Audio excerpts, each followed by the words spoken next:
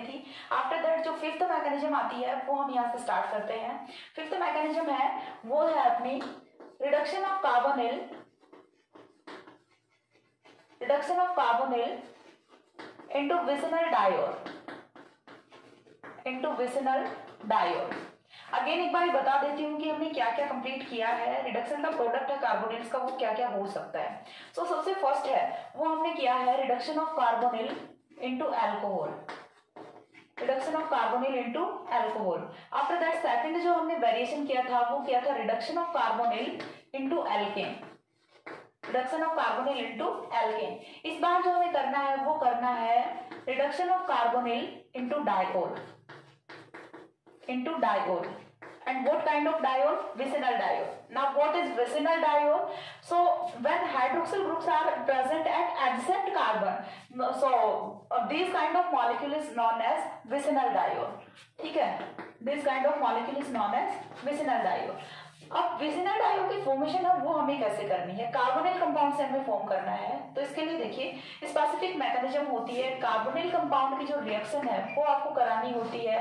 in the presence of magnesium in the presence of magnesium metal जब आप magnesium matter के साथ में रिडक्शन कराते हो कार्बोनिल कंपाउंड का तो यहाँ से जो रिएक्शन का प्रोडक्ट होता है, वो होता है आपका विसिनल डायोड ना what is the reaction mechanism mechanism वो तो काफ़ी इंपॉर्टेंट होती है, पता तो होना चाहिए कि कैसे फॉर्म हुआ है आपका विसिनल डायोड ठीक है तो विसिनल डायोड की फॉर्मेशन है वो कैसे होती है? देखिए, यहाँ पे मैं थ्योरेटिकल पोर्शन वो नहीं करा रही हूँ, इन वाले रिएक्शन में, क्योंकि थ्योरी है वो यहाँ से मैटर नहीं करती। इतना थ्योरी आप लिख सकते हैं। एमएससी फाइनल में हो गए तो इतना थ्योरी आप लिख सकते हैं कि यहाँ से कौन कौन से रिएजेंट है वो किसके साथ में, किसके साथ में रिएक्ट कर रहे हैं और क्या यहाँ से रिएक्शन का प्रोडक्ट हो जा रहा है। ठीक है तो थ्योरी जो है, वो आपको खुद से करनी होती है। थ्योरेटिकल पोर्शन है वो मैं आपको नहीं करा रही हूँ यहाँ पे। ओनली रिएक्शन पार्ट है, वो मैं करा रही हूँ। ठीक है?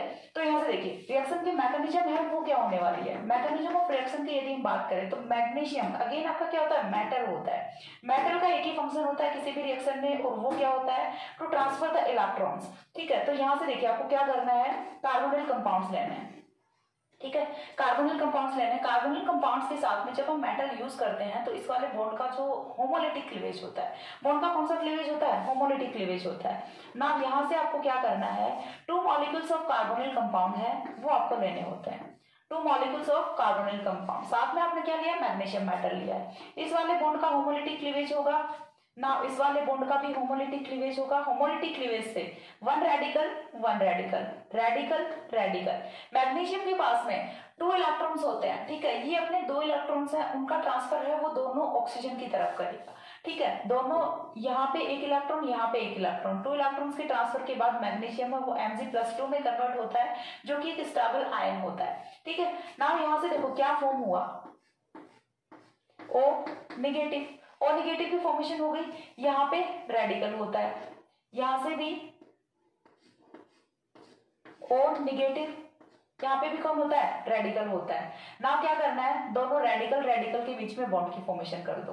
ठीक है? क्या किया सिंपल सा दोनों रेडिकल रेडिकल के बीच में बॉन्ड की फॉर्मेशन कर दी है। अब जब दोनों रेडिकल्स के बीच में बॉन्ड की फॉर्मेशन हो जाती है तो अगेन रिएक्शन में आपको क्या लेके आना है? एच टू ठीक है? रिएक्शन में क्या लेके आना है? एच टू लेके आना है। एच टू को ब्रेक किसमें करेगा? H positive O H negative में। यहाँ से आपका क्या हुआ था?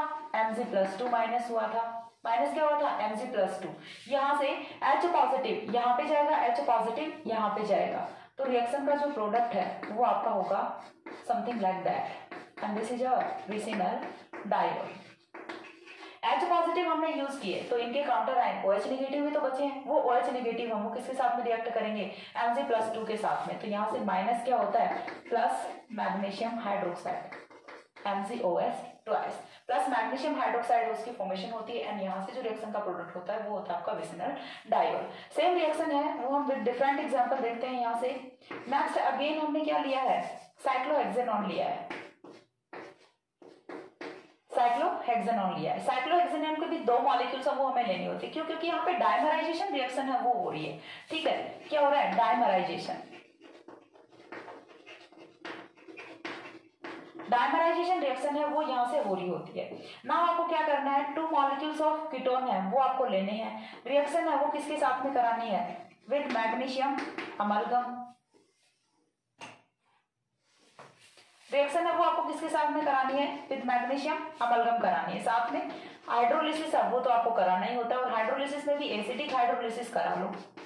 एसिडिक हाइड्रोलिसिस कराएँगे। तो यहाँ से रिएक्शन का प्रोडक्ट है, वो क्या होगा? देखो सिंपल सा। पहले क्या होने वाला है? ये वाला बॉन्ड ब्रेक होगा। यहाँ पे रेडिकल यहाँ पे रेडिकल आएगा। दो रेडिकल्स की फॉर्मेशन होगी देन कार्बन कार्बन है। वो आपस में यहाँ पे बॉन्ड की फॉर्मेशन करते हैं। ठीक है? ये वाला आपका ऑक्सीजन यहाँ पे भी क्या है? ऑक्सीजन नेगेटिव नेगेटिव दोनों कार्बन कार्बन ने यहाँ पे बॉन्ड की फॉर्मेशन कर ली।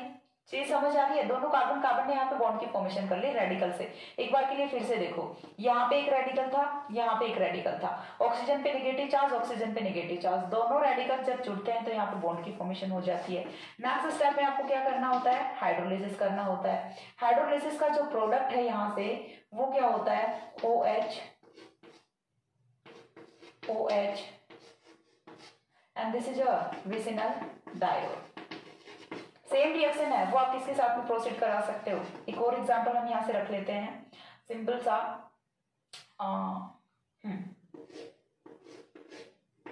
साइक्लोप्रोपेनॉन हम्म। है, वो हमने इस बार ही रखा है। तो cyclopropanone again with same reaction condition जब रिएक्शन करेगा तो यहाँ पे जो आपकी हेक्सेन रिंग थी, इसकी प्लेस पे क्या कर दो? प्रोपेनॉन रिंग प्रोपेन रिंग कर दो। सिर्फ़ इतना सा चेंज है, वो आपको करना होता है। O H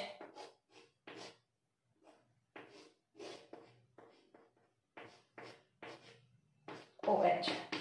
This is also vicinal diamond. तो पॉइंट क्लियर हुआ यहाँ से आपको करना क्या है कि मैग्नीशियम मेटल लेना है। मैग्नीशियम मेटल लेना है फ़र्स्ट स्टेप में आपको सेकंड स्टेप में आपको हाइड्रोलिसिस कराना होता है। और कार्बोनिल कंपाउंड से इनकी डायमराइजेशन रिएक्शन होती है। डायमराइजेशन का जो प्रोडक्ट है यहाँ से, वो होता है आपका विसिनल डायोल आपका पीछे का कुछ भी हो सकता है। देखो सिंपल सा आपको मैं यहाँ से ट्रिक बताती हूँ कि करना क्या है। आपको सिर्फ़ इतनी चीज़ देखनी होती है कार्बोनिल देखना होता है। कार्बोनिल का जो कार्बन होता है, दोनों को जोड़ दो। यहाँ पे आप मत देखो कि पीछे रिंग है। ठीक है रिंग को आपको नहीं देखना। रिंग को भूल जाइए। अब यदि इतना ऑब्ज़र्व कर रहे हो तो ये किसके जैसा दिख रहा है? इसी के जैसा दिख रहा है, दोनों को जोड़ दो। बाद में आपकी रिंग है उसे बनाते रहो, ठीक है? ना यहाँ से नेक्स्ट में, यहाँ पे भी क्या करना है? आप सिर्फ़ इतना ऑब्ज़र्व करो। इतना ऑब्ज़र्व कर रहे हो तो ओपन चेन कार्बोनिल सिस्टम दिख रहा है और इतने का तो आप कर सकते हो। इतने का कर सकते हो तो बाद में आपको रिंग बना देनी होती है। तो ये होता है आपका reduction of carbonyl into vicinal diode कैसे करना है? In the presence of magnesium metal करना है। अब यहाँ पे वेरिएशन रिएक्शन का है, वो क्या होता है? तो वेरिएशन यदि आपने मैग्नीशियम के प्लेस पे यूज़ कर लिया है titanium trichloride titanium metal use कर लिया है तो टाइटेनियम मेटल यूज़ करना होता है और साथ में क्या यूज़ करना है? टाइटेनियम के साथ में कोई दूसरा मेटल आपने यूज़ किया है लाइक जिंक किया है कॉपर किया है, या फिर आपने कोई मेटल हाइड्राइड ट्रांसफ़र यूज़ किया है लाइक आपने L I L H four use किया है तो उस वाले केस में रिएक्शन का प्रोडक्ट है, वो होता है यहाँ से एल्कीन और वो रिएक्शन कैसे होती है, क्या रिएक्शन होती है, वो चीज़ हम देखते हैं। एक बार इतना स्क्रीन ले लो हो गया? इसके बाद नेक्स्ट है, यहाँ से हमने जो रिएक्शन का प्रोडक्ट फॉर्म किया है, वो क्या है डायो आफ्टर डायो जो नेक्स्ट रिएक्शन आती है, वो आती है हमारी McMurry coupling McMurry coupling McMurry coupling और मैकमोरी रिएक्शन इसी में इसी में नेक्स्ट पॉइंट है McMurry coupling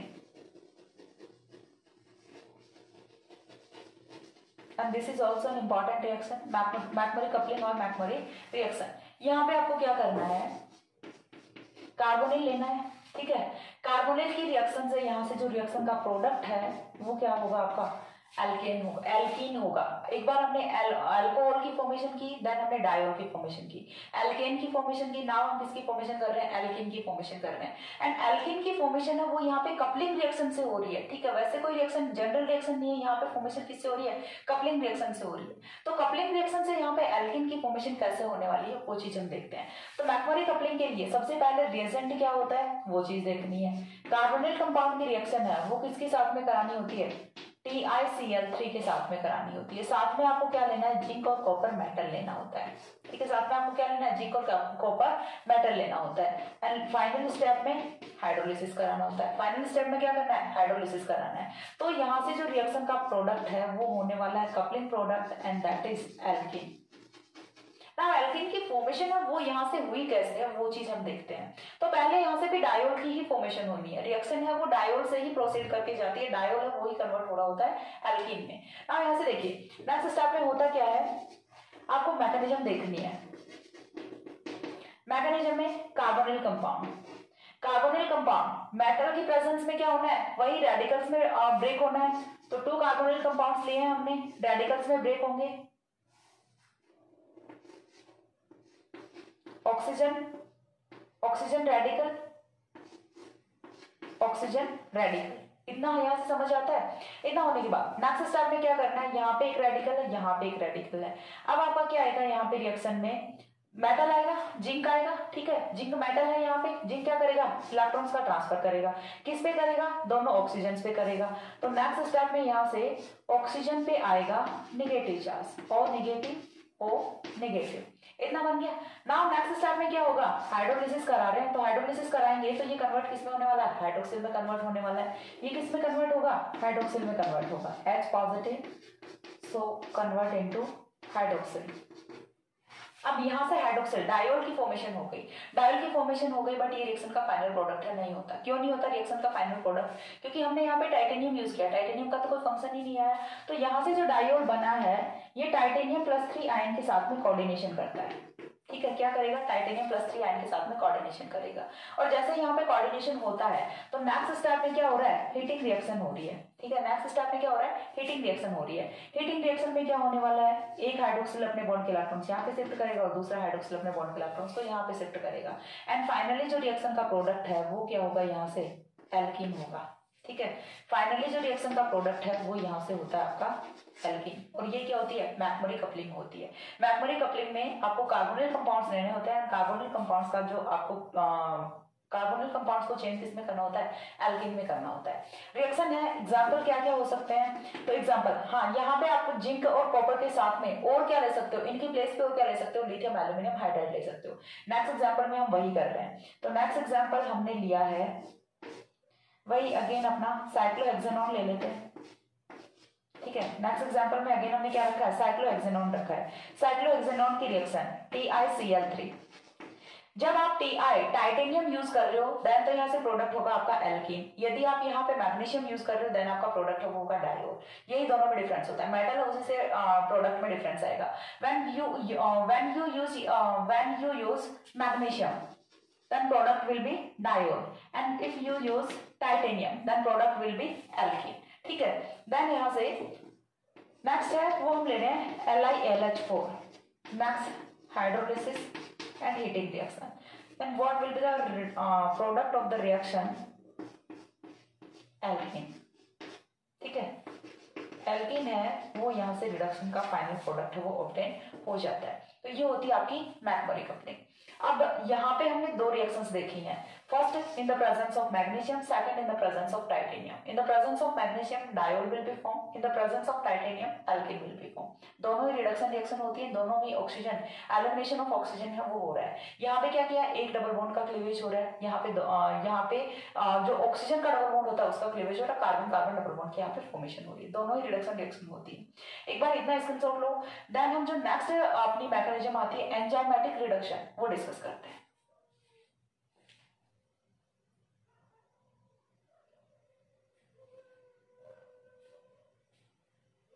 हो गया?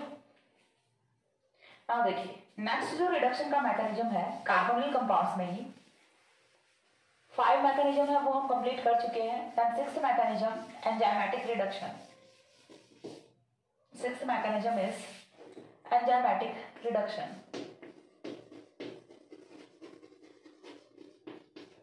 enzymatic reduction ये यहाँ से काफ़ी इंपॉर्टेंट है। एंड यहाँ पे सिलेक्टिविटी अगेन सिलेक्टिविटी अराइज होती है। ठीक है? तो यहाँ पे क्या होगा? Highly stereoselective product will be obtain highly stereoselective highly stereoselective product will be obtained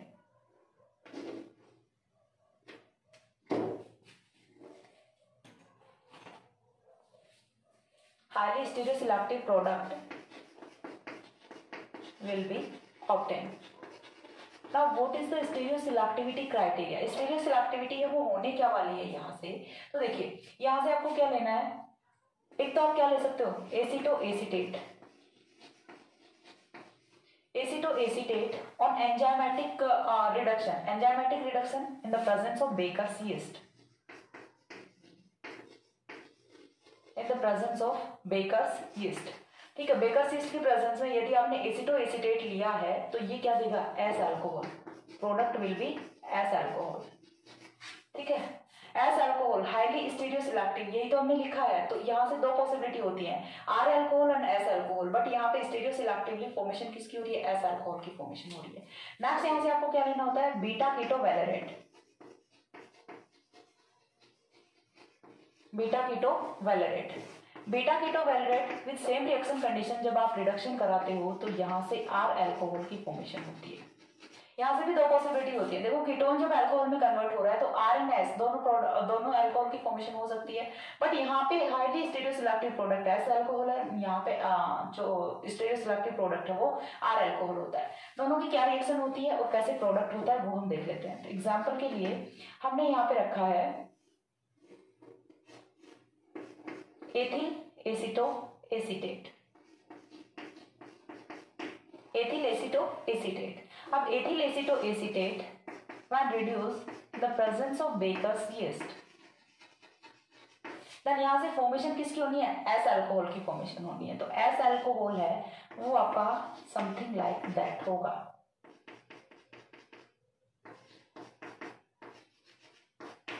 S alcohol will be like that now यहाँ से आपको क्या करना है? फाइंड आउट करना है कि क्या ये ऐसी बना है। तो कैसे चेक करेंगे? आर एस नॉमन क्लेचर करेंगे। आर एस नॉमन के लिए आपको पहले से क्या क्या आना चाहिए?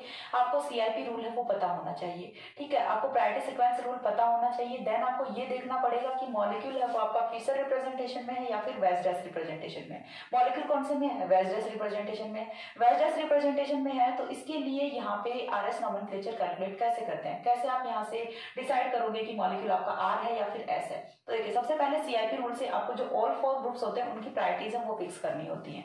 और सीआरपी रूल के अकॉर्डिंग जो हायर एटॉमिक नंबर वाला एटम हायर एटॉमिक नंबर वाला ग्रुप होता है, उसको सबसे फ़र्स्ट प्रायोरिटी जाती है। इसको चली गई फ़र्स्ट प्रायोरिटी आफ्टर दैट यहाँ से भी कार्बन है, यहाँ से भी कार्बन है। दोनों कार्बन है। तो अब हम इनपे जो लगे हुए एटम्स हैं, उनको देखेंगे। तो यहाँ पे कौन कौन है? हाइड्रोजन है हाइड्रोजन है और कार्बन है। और यहाँ पे कौन है? तीनों ही हाइड्रोजन है। तो कौन सा हुआ? यहाँ पे कार्बन है। तो सेकंड प्रायोरिटी इस वाले को थर्ड प्रायोरिटी इस वाले को ऑब्वियसली हाइड्रोजन को कौन सी प्रायोरिटी जाएगी? फोर्थ प्रायोरिटी जाएगी। नाम आपको क्या देखना है कि high priority to low priority move करना है। High priority to low priority move करना है।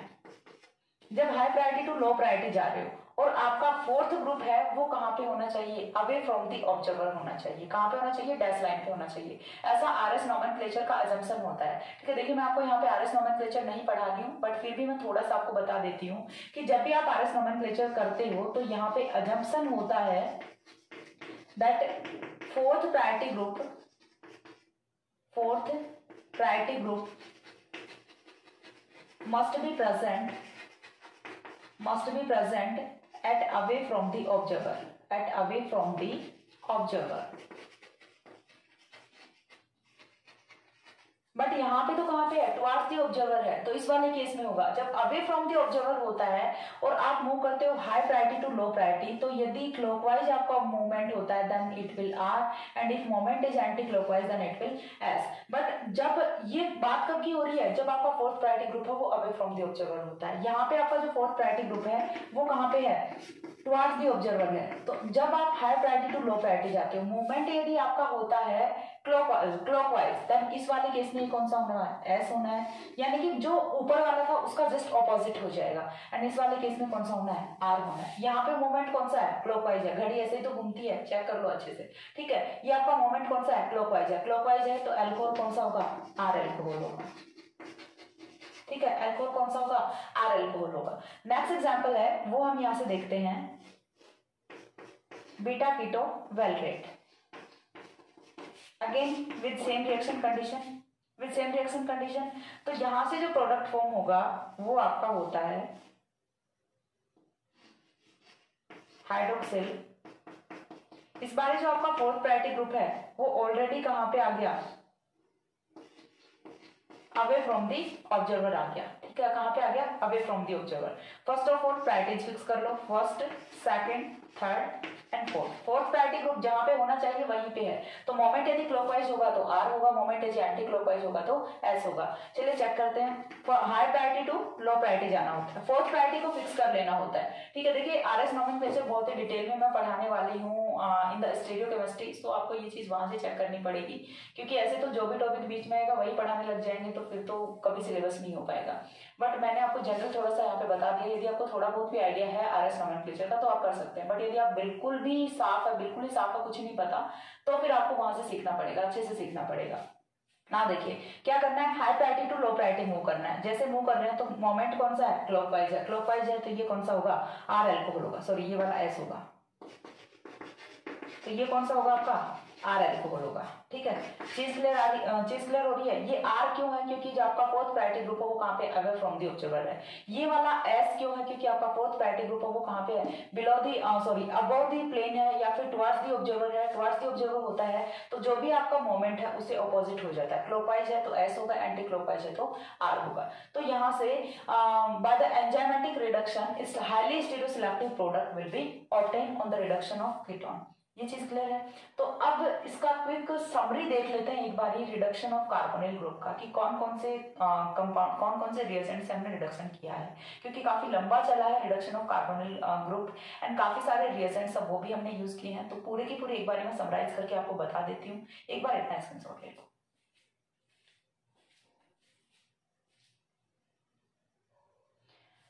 हो गया?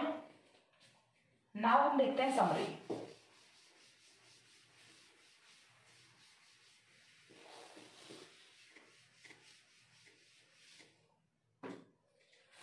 समरी में स्टार्ट टॉपिक अपना क्या है? Reduction of carbonyl group reduction of carbonyl group carbonyl group के रिडक्शन में first of all reduction by hydride transfer reagent reduction by hydride transfer reagent ना हाइड्राइड ट्रांसफ़र रिएजेंट में कौन कौन से रिएजेंट्स हैं वो यूज़ किए हैं? First one was N A B H four second L I L H four third B S three and fourth M P V Meerwein Ponndorf Verley reduction next one is reduction by dissolving metal. Reduction by dissolving metal dissolving metal में आपको क्या लेना होता है यहाँ से? Sodium in liquid ammonia and presence of proton donor now what will be the product of reduction alcohol ठीक है? इसको हम देखते हैं। इसको हम देखते हैं डिटेल में।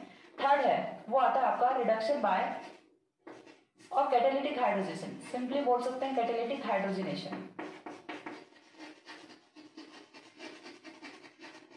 catalytic hydrogenation catalytic hydrogenation में क्या करना होता है? सिंपल सा कार्बोनिल कंपाउंड आपको लेना होता है निकल प्लेडियम पैलेडियम प्लेटिनम रुथेनियम कोई भी एक आपको मेटल कैटेलिस्ट लेना होता है in the presence of hydrogen gas what will be the uh, product of reduction? It is also alcohol. Fourth है वो आपका था reductive cleavage. Reductive cleavage. Reductive cleavage of CO bond, of C double bond O bond. यहाँ से आपने क्या क्या किया है? वॉल्फ किसने रिडक्शन किया है? क्लेमेंसन रिडक्शन किया है। First one is Clemmensen reduction and second one is Wolff Kishner reduction Wolff Kishner reduction ठीक है? Clemmensen reduction zinc amalgam HCl work इसमें reduction hydrogen base and ethylene glycol and what is the product of reduction alkane alkane now fifth reduction into vicinal diol reduction into vicinal diol. Vicinal diol. So when reduction is carried out in the presence of magnesium amalgam S3O positive. Then product of reaction is vicinal diol. Product of reaction is vicinal diol. Now इसी में second one is McMurray coupling.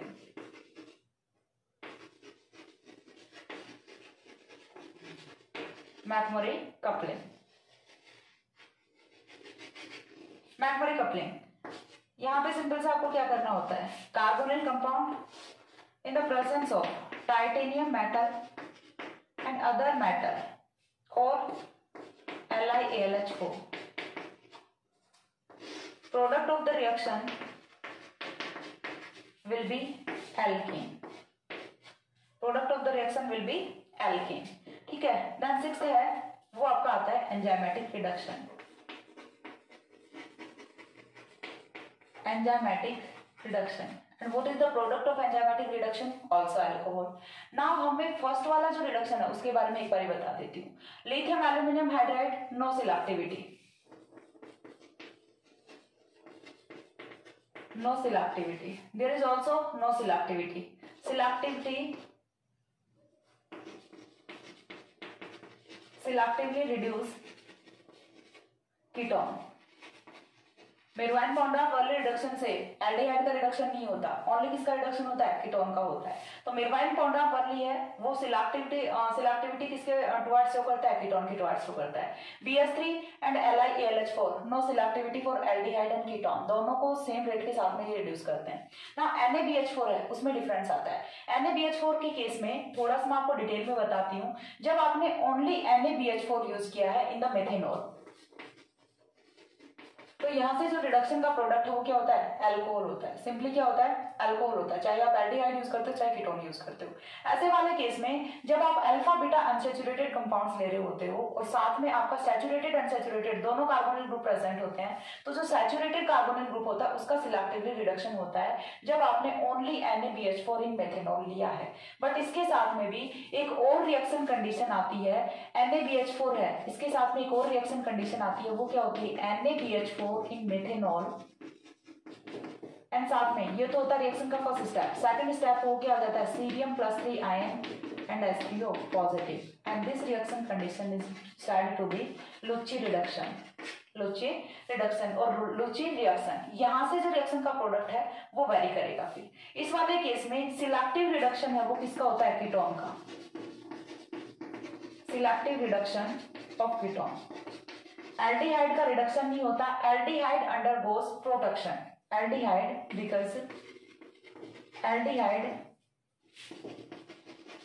undergoes protection undergoes protection by hydrate undergoes protection by hydrate. And ये सारी mechanism वगैरह है, ये मैंने already explain कर कर रखी हैं। तो एक बार मैंने आपको सिर्फ़ क्विक रिविजन कराया है कि NaBH4 इन मेथेनॉल यूज़ करते हो तो ये सिंपली एल्डिहाइड एंड कीटोन दोनों का रिडक्शन करता है। लेकिन यदि आप NaBH4 in methanol plus cerium plus three ion hydrated form में लेते हो तो ये लुची रिडक्शन होता है और ये सिलेक्टिवली रिडक्शन करता है कीटोन का। जो कि आपका एल्डिहाइड होता है, उसका रिडक्शन नहीं करता। जबकि हम जानते हैं reactivity of aldehyde is more than ketone but still ketone is ketone is going to uh, reduce but aldehyde does not reduce by Lucci reduction. ठीक है? ये यहाँ से होता है आपका reduction of carbonyl compound reduction of carbonyl compound को आपका कंप्लीट होता है। आफ्टर दैट हम जो नेक्स्ट ऑक्सीजन कंटेनिंग सिस्टम होता है reduction of acid and reduction of acid derivatives का वो स्टार्ट करेंगे। तब तक के लिए see ya have a good day thanks for watching